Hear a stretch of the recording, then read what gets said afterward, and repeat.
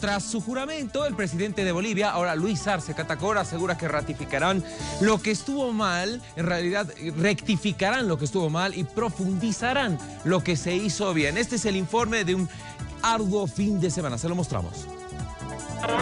Juró como el 67 presidente de Bolivia y durante la nación del himno nacional derramó varias lágrimas en el hemiciclo de la Asamblea Legislativa.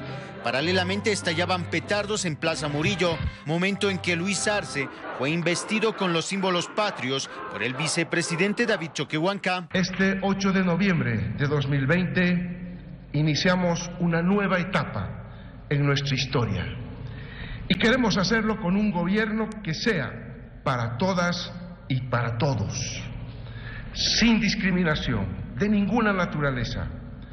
Nuestro, nuestro gobierno buscará en todo momento reconstruir nuestra patria en unidad para vivir en paz. A diferencia de su predecesor que levantaba la mano izquierda para el juramento, Luis Arce juró con la mano derecha en el corazón. Queda, hermano, usted posesionado como presidente del Estado plurinacional de Bolivia. Según el presidente Luis Arce, se usó la pandemia para prorrogar a un gobierno ilegítimo.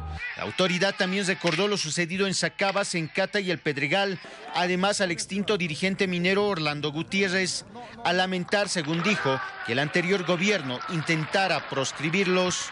Y se usó la pandemia para prorrogar a un gobierno ilegal e ilegítimo.